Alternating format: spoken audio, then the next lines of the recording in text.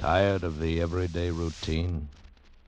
Ever dream of a life of romantic adventure? Want to get away from it all?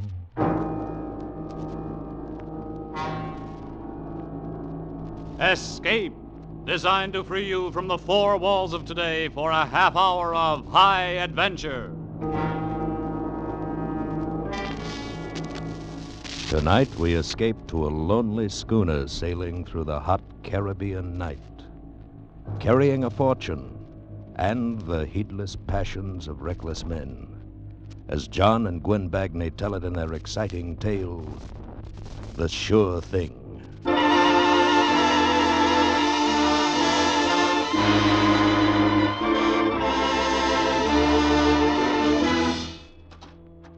Uh, this way, senor. Thank you. If you would please wait in here in the president's office. Fine. You understand, senor, I have not the authority to handle the matter myself. Yes, of course I understand. You see, a bank draft of two million dollars. uh, It is a matter of such importance. Senor Jose Perez, the president of the bank, he is the only one. That's perfectly all right. I'll wait for Senor Perez. Gracias, senor. Gracias. Wait? Yes, I could wait. I'd come this far, I could afford a few more minutes. And I'd wanted to think about it, to roll it over in my mind, just as you roll a fine liqueur over your tongue to enjoy the full realization of it. It was hard to believe.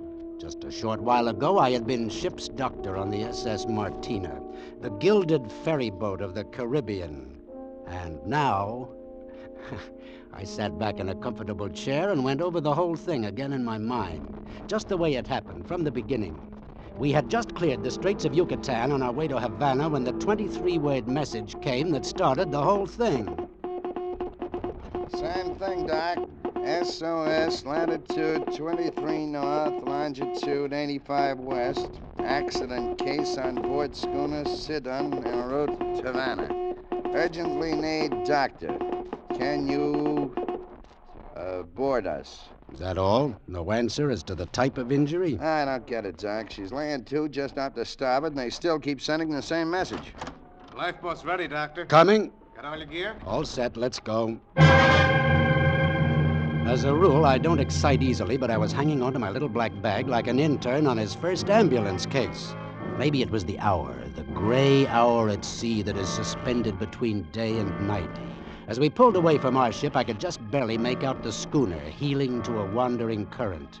She was a 42 footer, and from her high bow, she sloped away neatly in a sweeping, sheer line to a trim, square stern. The Sidon. The name seemed to fit her, aloof and aristocratic. We pulled alongside. That the doctor? Yes, give us a hand, will you? All right, men, ship your oars. Steady, Doc. You on board here, take my bag. Olson, give me a hand with a stretcher. Right. Watch your step there. Uh, yeah, easy. Thanks. Well, there we are. Now, where's the patient? He's below. What'd you bring the stretcher for? Who are you? I'm the owner. Felix Arouge is the name. You can't take him off this boat. He's too weak. I'll decide that. Come on, Olson. Come on, Doc. We went below. The main cabin was lined in Honduras mahogany. Everything was custom built, even the galley that we passed through on our way to the stateroom forward, where I found my patient, an old man, and uh, with him, a girl. Oh, Doctor, I'm so glad you're here. Joseph. Joseph. Hmm. Huh? Joseph, the doctor. He's here. Oh. Doctor. Thank heaven. Easy now, easy. You'll be all right. Doctor, he had an accident. He's terribly ill. I've been so worried. Please. Mm-hmm. Bad shock. Pulse pretty low. You're not going to take him away, are you? No way. No. No, can't Oh, easy now. Have you enough oil aboard to reach Havana if the wind doesn't hold? Yes, I think so. Okay. Olson, Yeah, Doc. you go on back. This man's in no condition to be moved. What about you? I'll meet the ship in Havana. We ought to be in there sometime tomorrow. But the skipper thinks... I'll take the responsibility. Okay, you're the doctor. All right, let's have a look here. Oh. Easy now. Who bandaged him?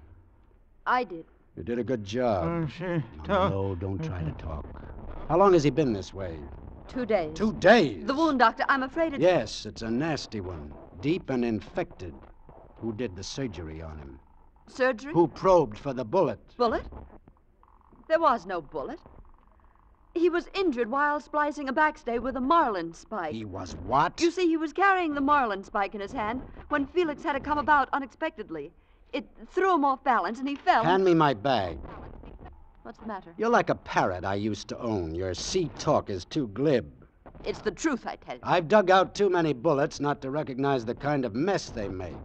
It was a marlin spike. Yes, well, you can yell Marlin Spike all the way to Havana, but it isn't going to change my report. Report. No. No bullet. Uh, Marlin spike. Lie back now. Marlin. This won't hurt. Uh, what? Just a hypodermic. No, no, no, no dope. I don't want it. But I've got to probe. You can't take it if you're conscious. No anesthetic. Only brandy. Doctor, give him the anesthetic. Oh, no. You'd like that, wouldn't you, Stephanie? You're out of your mind, Joseph. I just want to save you the pain, and the doctor. Get him the brandy. But, Doctor. It's I... his body. If that's what he wants, that's the way he'll have it. Now get the brandy. Oh, thank you. And, Doctor, Yes? send Stephanie away. Don't wander around me. She went away, but she didn't like it, and I got to work. The old man didn't say a word all the time I probed. He just moaned and gritted his teeth. I found the bullet all right, and then I powdered the wound with sulfa and bandaged it. I could see I'd have my hands full just to keep him together until we got to Havana. For the next couple of hours, I was pretty busy, and it was well after 10 o'clock when I felt it was safe to leave him and go up on deck to catch a smoke. Halfway up the companionway, I ran into Felix Arouge on his way down. I hadn't got a good look at him when I first came aboard, but now I did. Heavy, dark, bony face with a black mole on his cheek, fine flannel slacks rolled to his knees, and for a belt, a gaudy necktie. Against the polished brass and teak deck of the schooner, he was as incongruous as a herring in caviar. Well, Doc, how's the old boy? Is he gonna kick off? I'm sorry to disappoint you, but I think he's going to be all right. You think, or do you know? I'm only a doctor. I've done everything I can for him. Yeah, wait a minute. Where are you going? I want to see him. I gotta talk to him. I wouldn't advise it. Since when are you giving the orders around here? Since I came aboard, I don't want him disturbed. He needs to rest. Yeah. You got any objections if I get myself a cup of coffee? No, so long as you stay away from my patient. Oh.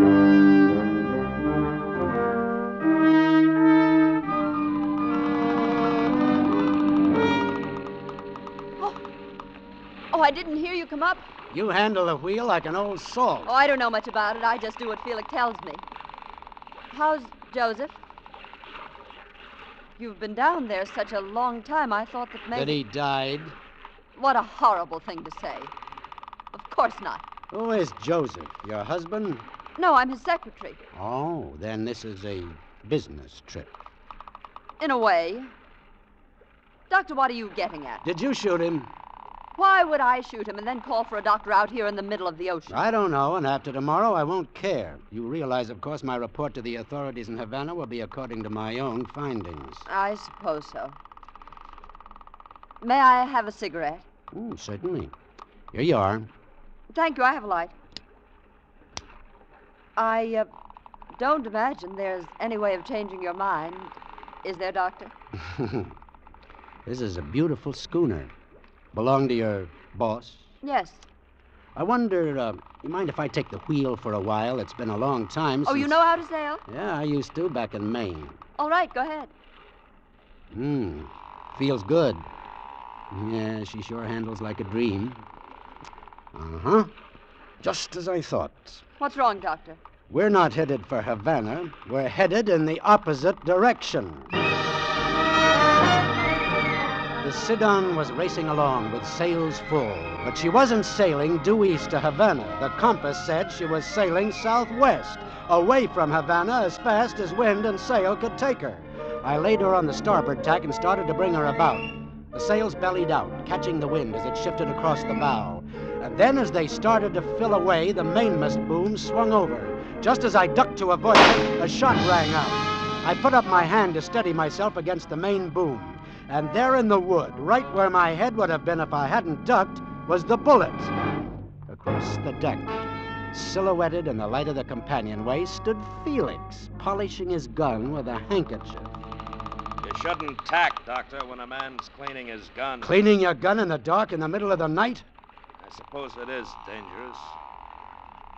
I say you don't like our course. I was under the impression this craft was bound for Havana. That's right, Doc. We are. Then why are we sailing southwest? Southwest. That's a woman for you. Can't trust them behind the wheel of a car, and they're no better behind the wheel of a boat. Oh, no, Felix. You don't blame me for that. I don't know anything about a course. I did what you told me. Then why didn't you do it right? If I'm so incompetent, maybe you'd better handle it yourself. Maybe I will.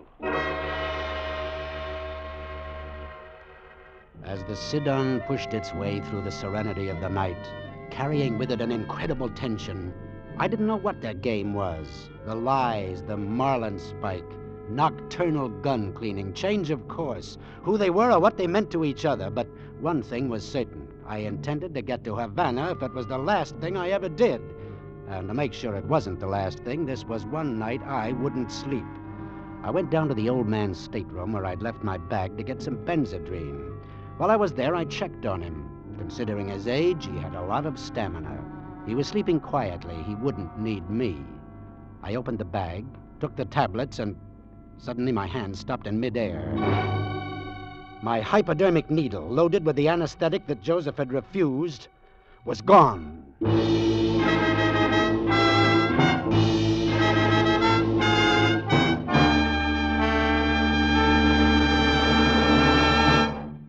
In just a moment, we will return to Escape. But first, we keep reminding you that this fall you'll hear them all on CBS. But there's one Sunday night show that makes you think constantly that it's spring. It's the show that brings you the hilarious adventures of that capricious teenage charmer, Corliss Archer. Youth and love and a definite springtime madness well up in Corliss's adventures every Sunday night, bewitching, bothering, and bewildering her parents, the neighbors, her teachers, and her boyfriends. For a show that's filled to the brim with charm and good humor and very funny adventure, meet Corliss Archer every Sunday night on most of the same CBS network stations.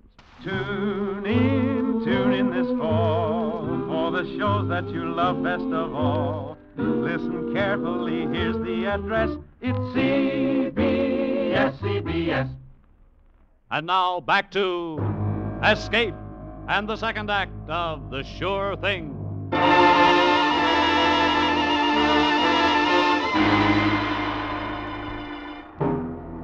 My hypodermic needle, loaded with the anesthetic that Joseph had refused, was gone. I tore the bag apart, took everything out, but it wasn't there. It wasn't anywhere in the stateroom. One of them had stolen it. Why? To use on the old man? On me? I went back up on deck. Felix was at the wheel. I knew it was futile to ask him if he'd taken my needle. What's the matter? Can't you sleep? Or are you still worried about the course? See, we're sailing due east. Very commendable. Mind if I take the wheel a while? No, I don't mind at all. But keep her due east, Doctor. I want to get to Havana.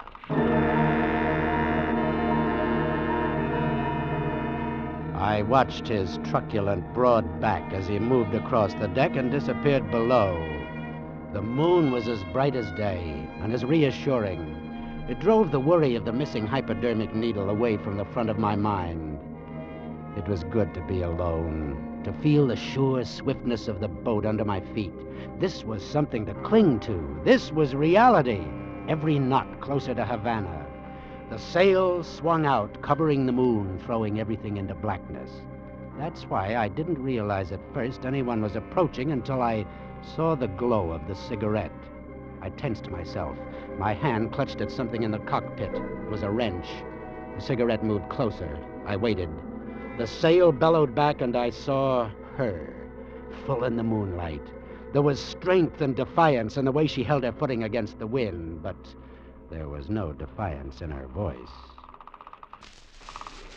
I have to talk to you. Hmm? Go ahead, talk. I'm afraid I haven't been very honest with you. No, I'm afraid you haven't. I lied to you, and I realize now how foolish it was, but. Doctor, I'm afraid of Felix. Are you trying to tell me it was Felix who shot the old man? Yes, and he made me lie about it. Like you lied about the course? You'll never get to Havana. He's letting you think that you're getting there now, but he'll figure out something. Yeah, I'm sure he will if that target practice a few moments ago was any sample. Oh, he wasn't trying to kill you. Felix wouldn't kill you now, not as long as Joseph needs you. I, I mean, You know, you're not making sense again. Felix wants me to keep Joseph alive, and yet Felix shot Joseph. it was just in a fit of anger, an argument. Felix has a terrible temper. Why, he'd be a fool to kill Joseph. He... What makes Joseph so valuable? Hmm? I suppose I should tell you all of it. No, it might be a good idea. I told you the truth about one thing, at least. I am his secretary. Only his name isn't just Joseph. It's Joseph Ingram. Ingram. No wonder his face was familiar. He's he's the big aviation tycoon. Yeah, but look, Ingram was killed two weeks ago. I read about it in the papers. A transcontinental airplane crashed into a mountain. yes. Even fate works for him. We were on our way to Washington. He'd been subpoenaed to have his war contracts investigated. Oh, the public was really worked up about it. He was a cinch to be indicted. Why, even his own wife left him after 20 years of marriage. But as luck would have it, we got off the plane at Albuquerque to answer a wire from his attorneys. But the radio and the newspapers obituaried him to death. I know. That's how things happened for him. Apparently, there, there was just no record of us leaving the plane, and they only found half the survivors, and some of those they couldn't identify. Now go on. Well, when Joseph realized that he was officially dead, he saw the way out. He phoned Felix in Florida to have the Sidon ready, and we took a train down and boarded her there. Yeah, I see, but I don't. Well, un- why do you think I'm on this boat? Do you think I wanted to come? Do you think I wanted to leave my whole life behind? I was forced to come. I was the only one who knew that Joseph was still alive. And now you know. Uh, what about Felix? Oh, Felix, he does odd jobs, as it were, for Joseph. And Joseph owns Felix, body and soul, just as he owns everyone who works for him. And uh, you? I was ambitious. I ought to hate Joseph, but it's not his fault. I saw a chance to go further with him than with any other man. Only I'd known how it would end. Running away from everything. Always to be afraid. Well, if that's it, then I was wrong. Then maybe the needle isn't meant for Joseph. Needle? What needle? The hypodermic needle loaded with anesthetic. It's missing from my bag. If it isn't meant for Joseph or for me, it's meant for you. Oh, no. Oh, no. He, he can't. He wouldn't. I'm afraid we'll have to be more realistic. We? If you'll forgive the pun, I'm afraid we're both in the same boat. There was desperation on her face, and I felt sorry for her. She was in this mess up to her neck, and she was afraid. And yet it was good having her beside me there in the cockpit. It was pleasant to be with her. Just the two of us, and the moon and the sea. Well, anyway, the hypodermic needle was the farthest thing from my mind when I took her in my arms. And then it happened. I felt the sting of it pierce my flesh. The needle! You. What are you talking about? The needle, you stuck me with it. Needle?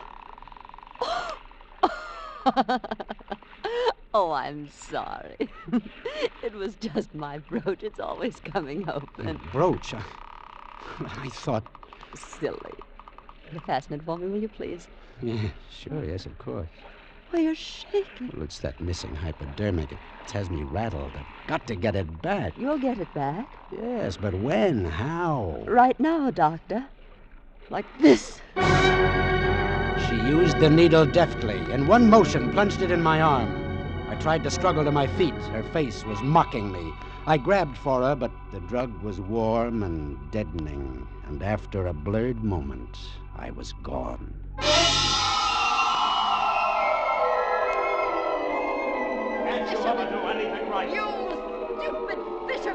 I could hear them from a long ways off. I came to slowly.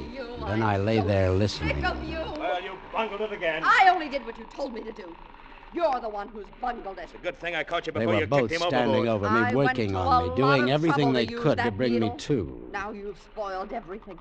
You- Why did you have to rush things? You want to know where the money is, don't you? Well, you haven't found out, and now maybe you won't. If you'd left Joseph alone. Oh, but no, no, you couldn't wait. As soon as the doctor was unconscious, you had to work him over.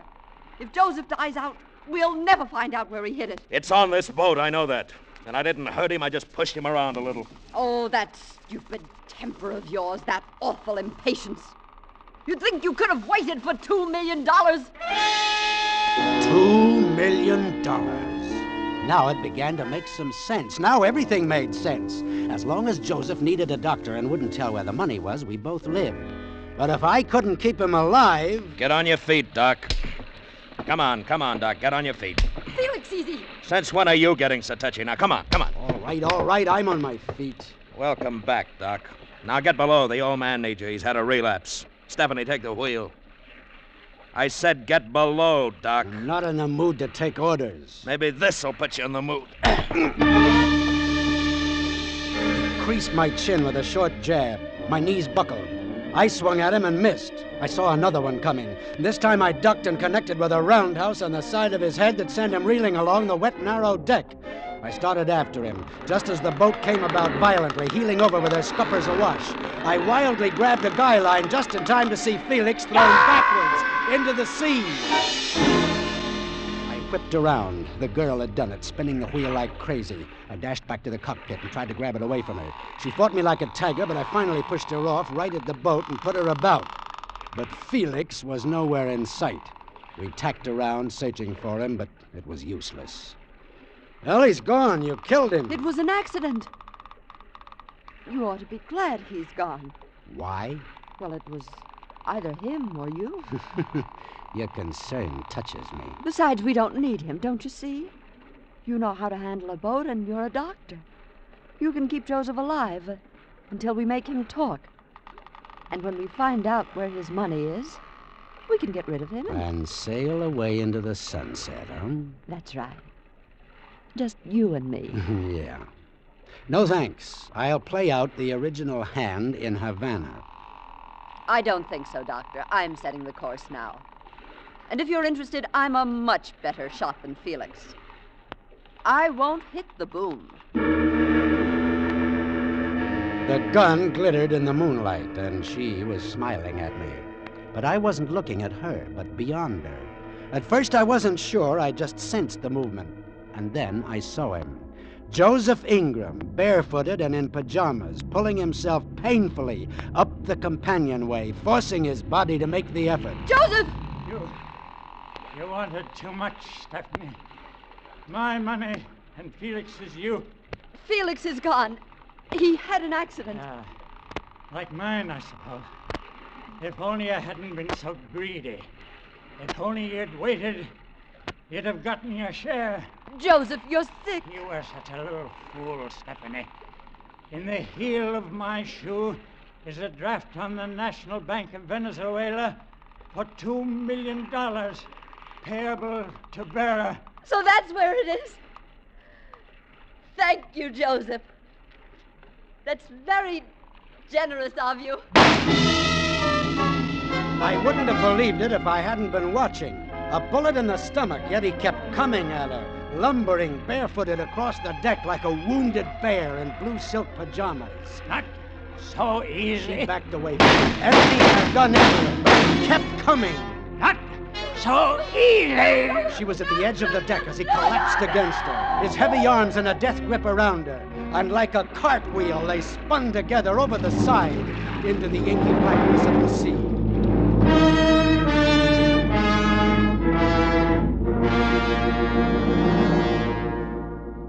Two million dollars in the heel of a shoe. Yeah, it was in the heel of the shoe, all right. I went below and found it. Just a piece of paper that three people had died over. Two million dollars, certified backwards and forwards, payable to bearer. In just a few hours, it would be daylight. I could be in Havana by noon. Back to the Martina. Back to the dispensary. Back to the endless round of seasick pills, hangover remedies, and, when I'm lucky, maybe a sprained ankle. Or Venezuela. The choice was simple. There was no risk at all. It was a cinch. It was a sure thing. It was payable to bearer.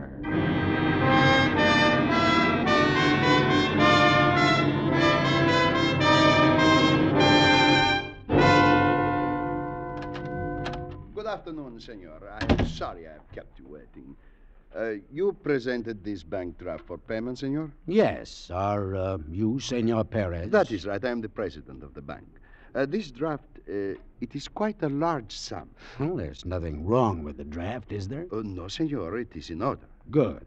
And you wish us to transfer this money to your bank in the United States? No, no. As a matter of fact, I wish to open an account here. But certainly. Gomez, you will make the arrangements for the senor. Oh, si, Senor Perez, at once. And uh, now, uh, there is a lady, a countrywoman of yours, waiting to see you. Please, step this way, senor. To see me? But who? Oh, Joseph, I've been waiting so long. Senor Perez, is this the man who presented the draft for payment? Si, senor. But he isn't. Then what's happened to Joseph? Who? Joseph Ingram, of course. Senor Perez, who is this woman? What is she doing here? Well, I heard the Sidon had come in this morning with only one person aboard, so I rushed right here to the bank. But you've cashed the draft. What have you done? Killed Joseph for it? Look, madam, I, I don't know what you're talking about. Just who are you, anyway? I'm Joseph Ingram's wife. Mrs. Ingram. But then, well, surely you know he died in that plane crash back in the States. He didn't, and you know it. Joseph wasn't on that plane. He boarded the Sidon in Florida. Now, look, madam, all the newspapers Joseph and I it... planned the whole thing. Those highly publicized statements about our divorce were just a cover up. He was to meet me here with the money. And I know he would have if he were still alive. Senor Perez, will you call the police? I accuse this man of murdering my husband. Si, senor. I didn't kill him. She killed him. She? Stephanie, his secretary. And where is she? She's dead, too. He killed her. Oh, that doesn't make any sense. Where is Felix Arouge? Well, you see, Felix, he was killed when he. Yes? Well, you see, it was like. I stopped. They were staring at me. They didn't believe me, of course. Who would ever believe me? But it had seemed like such a sure thing. And it was murder, payable to bearer.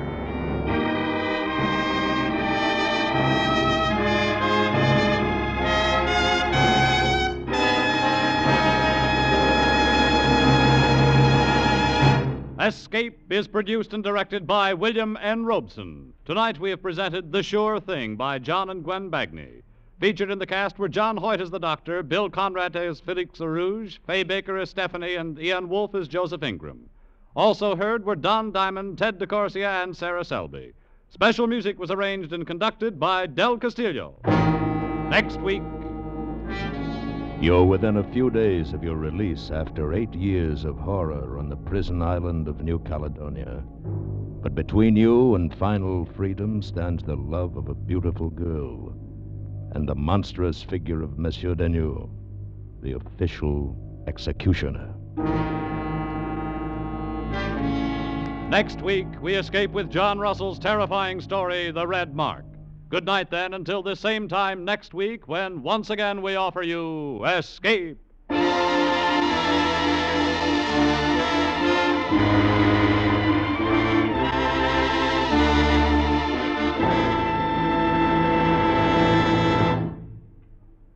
A whole family of top Hollywood stars waits to entertain your family every Sunday on CBS. It's on the Family Hour of Stars, heard over most of these same CBS stations. A half hour of top entertainment, romance, comedy, or drama, starring Irene Dunne, Ronald Colman, Loretta Young, Dana Andrews, Kirk Douglas, and Jane Wyman in turn. Your whole family will enjoy the Family Hour of Stars Sunday on CBS, where this fall you'll hear them all. Stay tuned now for Sing It Again, which follows immediately over most of the same CBS stations. This is CBS, the Columbia Broadcasting System.